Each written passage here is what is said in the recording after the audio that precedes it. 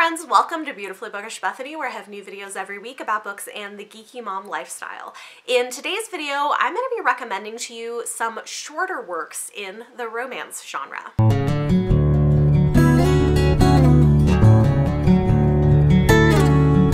So I got a request from one of you guys in the comments asking if I could recommend some of my favorite short stories, anthologies, novellas, etc. for people who like to read shorter works and I thought, you know what, that's a really great idea. I don't think that's something I've done much of and so I started compiling a list and realized, man, I actually read a lot of things in those categories and have a lot to recommend. So you're going to be getting a couple of different videos from me giving you my recommendations. In today's video, we're going to be talking specifically about romance. This video might be useful for people who want to kind of dip their toes into romance or try out new authors or new subgenres that they haven't before. Because it's pretty short, it's pretty quick, it's not a big time commitment, and reading a novella or reading a short story collection can be a nice way to kind of dip your toes in the water and see what works for you and what doesn't. This also could be really great for people who are already romance readers, but maybe don't always have the time to pick up a full-length novel or sometimes just want something quick as a palate cleanser in between longer works.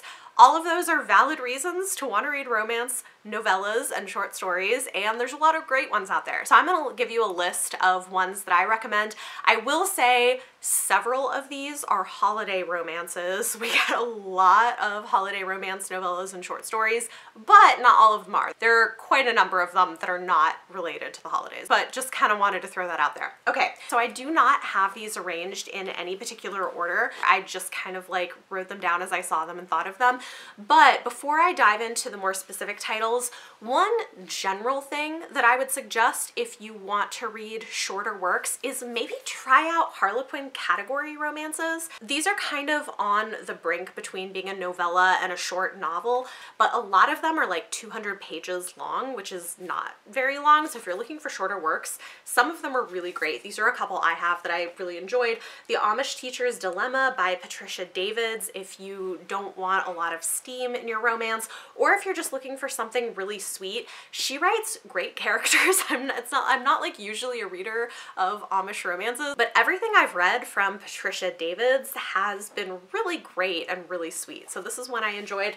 And then Jayci Lee has some really good and Lens in the Harlequin Desire line. Off Limits Attraction is one I read recently, and both of these books are right around 200 pages. Some of the special edition category romances are a little bit longer, more like 250 pages, but they're still usually under 300.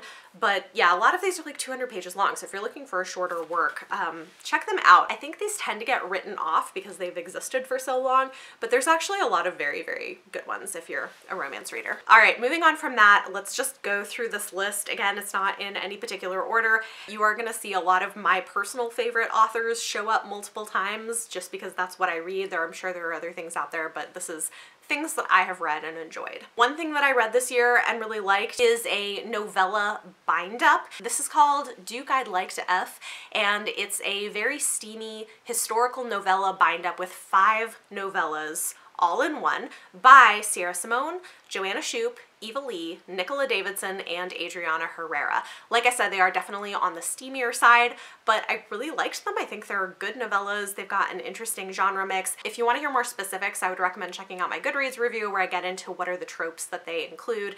But I really enjoyed this. So If you want steamier romance novellas, you can get five in one. While we're talking about Adriana Herrera, let's just cover her two other short holiday romances that she released this year there were two of them. One is more of a actual novella and one of them I would call more of a novelette or like not much longer than a short story. The longer one is American Christmas, which is a spin-off from her American Dreamers series. I think the series is American Dreamers, but um, this is a really great holiday male-male romance that is a retelling of The Gifts of the Magi. If you're familiar with that story, it's like a classic Christmas story.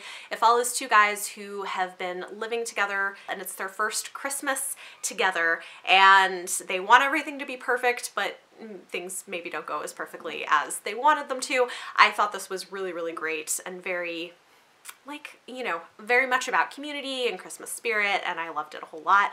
Then if you want something that's much shorter and super steamy, we have Her Night with Santa. This basically imagines what if the current Santa was a butch lesbian named Chris who has a thing for red lipstick and winged eyeliner. Um, it, I, I'm not going to go into too much detail here, but this was very spicy and very short and like fun. So if you're looking for a spicier holiday short romance, that may be one to check out. Then for mystery lovers or people who like interesting twists and turns, I would recommend checking out The Headmaster by Tiffany Rice.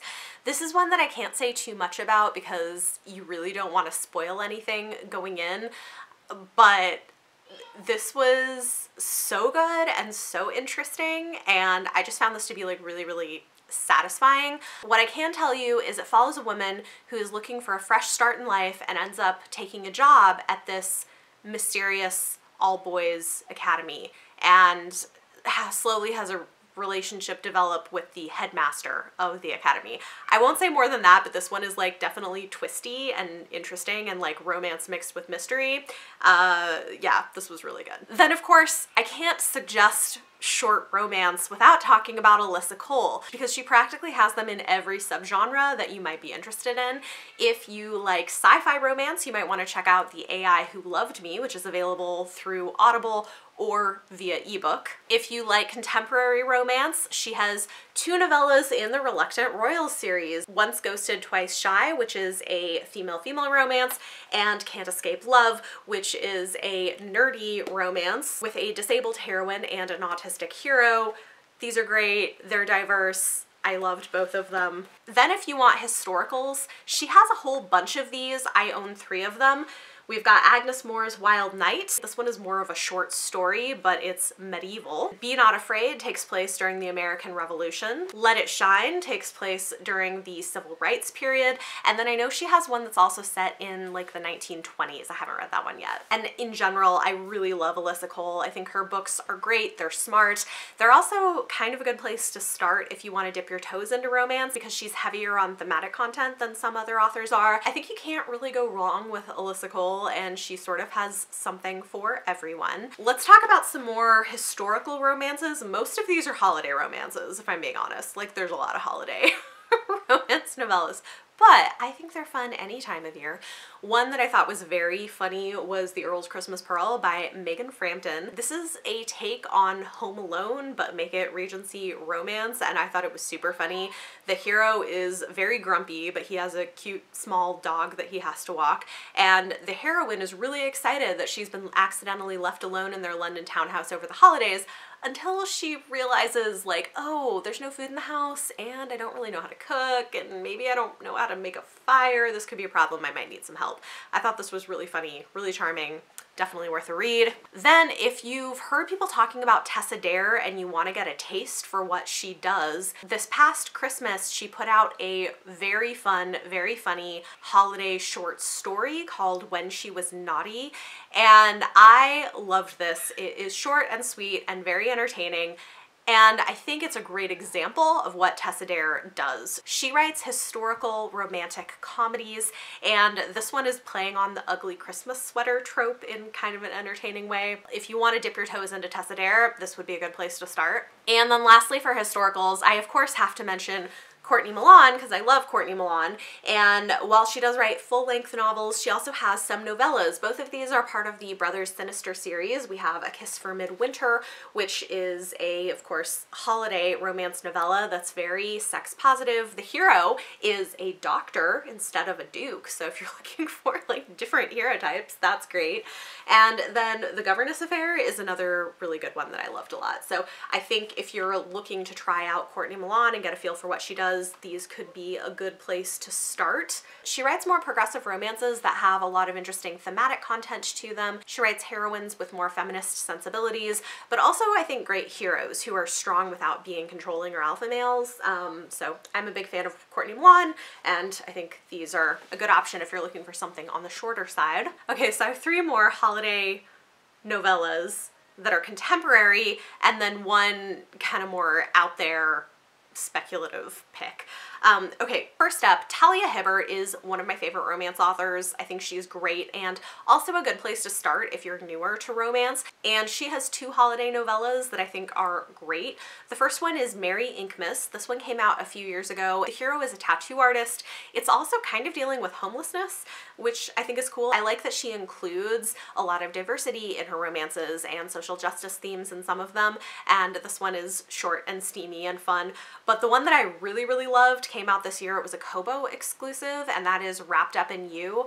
I loved this so much. It's probably the least steamy thing I've ever read from her, but it has so much emotion, like all the feelings and the angst, and I loved it so much. And what was great about it for me is it has a super grumpy, prickly heroine who has lots of walls up because she's been hurt in the past. Her and her childhood best friend have secretly had crushes on each other for years, but now they're stuck together during the holidays at her grandma's house and things happen. I loved this one a whole lot, so if you're looking to try out Talia Hibbert, those would be a couple places to start. And then my last recommendation is really generally for an author if you want something that's a little more out there this is uh, maybe a good place to ease into it because it's less wild than some of her other books. But this is The King's Spinster Bride by Ruby Dixon.